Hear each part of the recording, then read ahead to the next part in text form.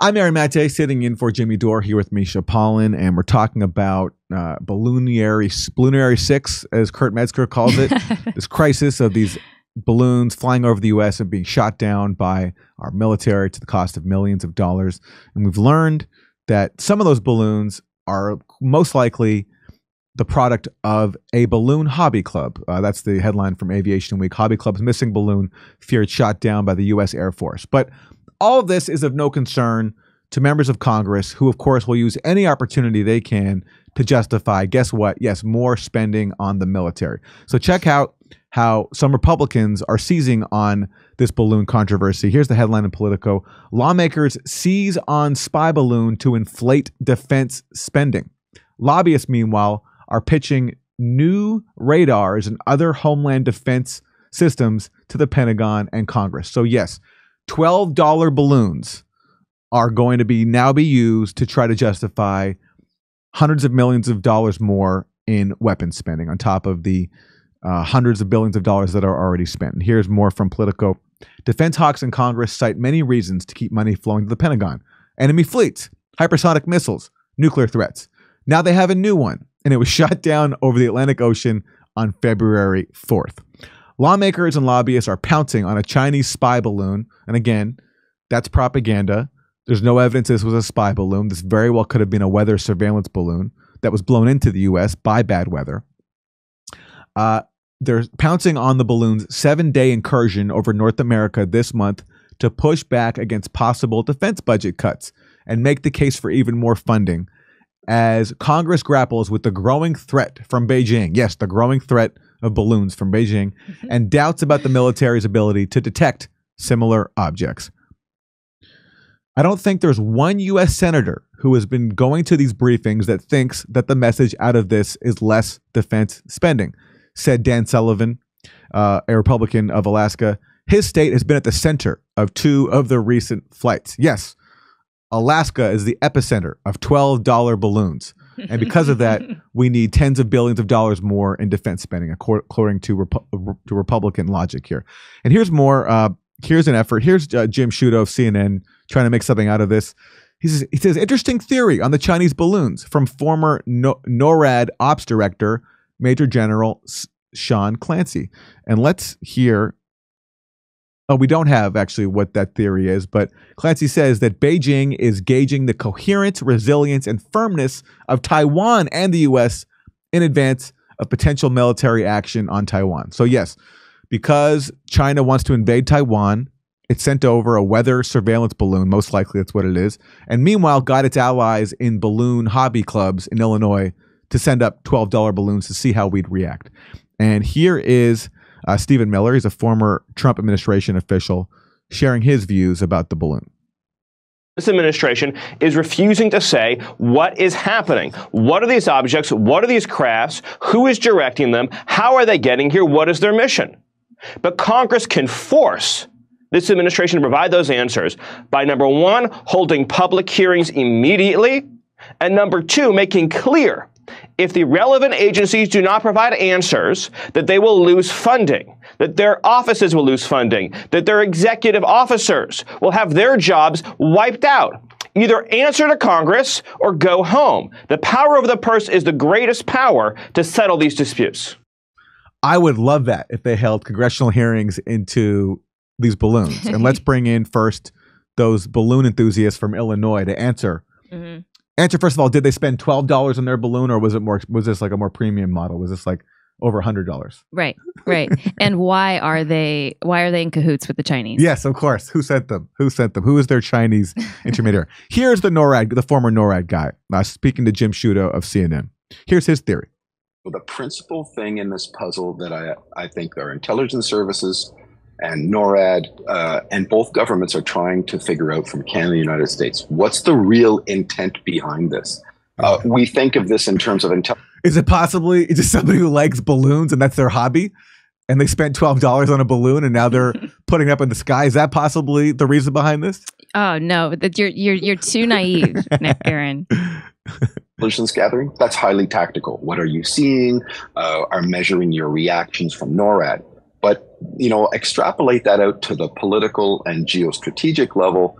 what does this indicate in our reactions as Occidental nature uh, nations for an incursion across you know the Taiwan Straits, uh, and maybe that's the kind of test that this is.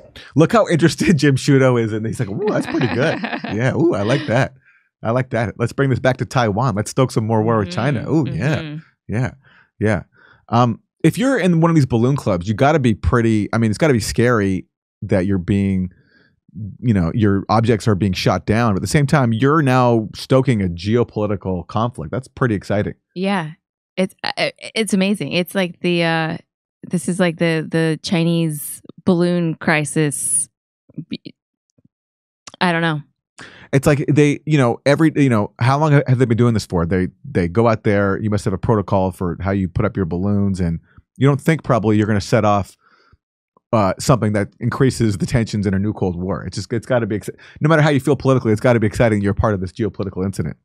Um, which some people refer to as an invasion. This is jim Risch we've played this before but this is such a hit. Let's play this again. This is senator jim Risch uh, the, the republican ranking republican on the senate foreign relations committee.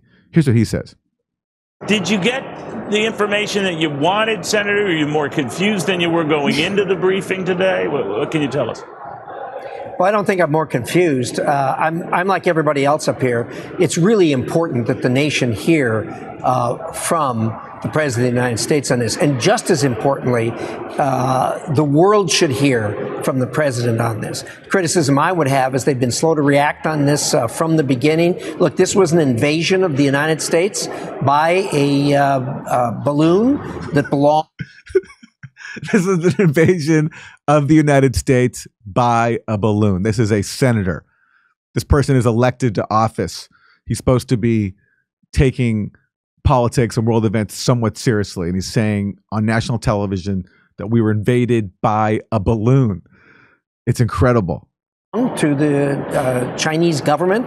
Uh, it was sent in intentionally. It was spying No, it wasn't sent intentionally. According to all the latest information, it was pushed into the U.S. by a weather system. Uh, that was reported in the Washington Post. We've covered that. So he's just saying fake claims, whether he knows it or not. Aren't those the westerlies? Yeah, The westerlies, right? Yeah. Those are the winds. yeah. The winds. It was there was some sort of uh, some sort of uh, weather system recently that pushed some cold air into the U.S. and the balloon was not supposed to be making its way to the U.S., but it got pushed by that. That's what the Washington Post has reported, and no one's contradicted because it makes sense. Because if you are China, you really want to spy on the U.S., you're probably not going to do it with a balloon that everyone can see, and that it can't be even steered to a different course because it's controlled by a weather system, basically. Uh, and here is Congressmember Mike Turner, a Republican, uh, chair of the House Intelligence Committee. He's going to tell us why all these balloons show the need for more money on the military.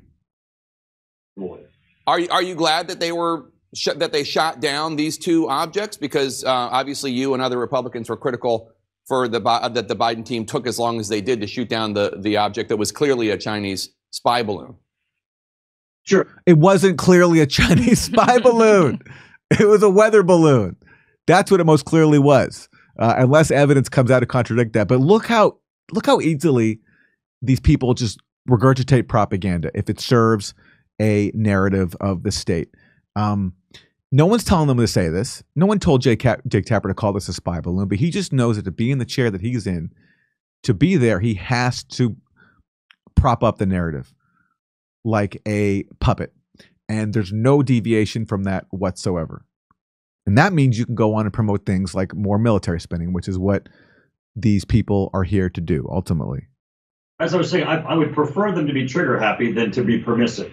But we're going to have to see whether or not this is just the administration trying to, to change headlines. But what I think this shows, which is probably more important to our policy discussion here, is that we really have to declare that we're going to defend our airspace, and then we need to invest. What's become clear in the public discussion is that we don't really have adequate radar systems. We certainly don't have an integrated missile defense system. We're going to have to begin to look at the United States airspace as one that we need to defend and that we need to have appropriate sensors to do so. This shows some of the problems and gaps that we have. We need to fill those as soon as possible because we certainly now ascertain there is a threat.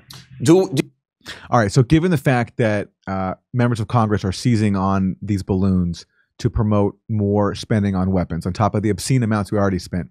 The decent thing to do would be for Lockheed Martin, uh, Raytheon, General Dynamics to donate a lot of money to the balloon hobbyists who Mhm. sent these balloons up because they're helping to increase their bottom line. That'd be the right thing to do.